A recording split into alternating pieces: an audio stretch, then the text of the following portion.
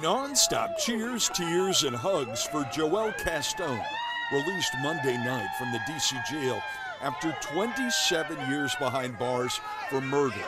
It hasn't been 27 years uh, waiting to go home. It has been 27 years preparing myself to never come back to prison again.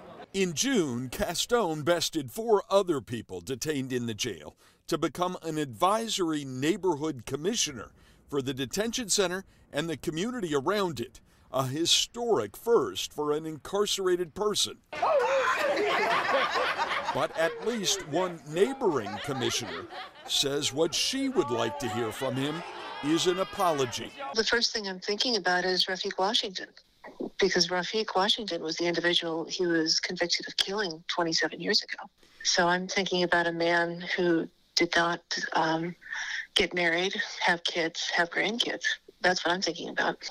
He should stay in jail simply because he took that away, he took life away from someone else. They will never have the ability to do what he or anyone else has done. A spokeswoman for Caston has been declining interview requests. But the 44 year old maintained in an interview with Kim Kardashian before his release that he had been wrongly convicted in 1994 in the shooting death of another teen. Awesome. Long time coming. In jail and in prison, he has been a mentor, a worship leader, a financial literacy counselor, and he's taught himself multiple languages. What do you think? Uh, we're very happy. He deserves this. Took too long, but it's great to have him home. He's earned, he's earned it.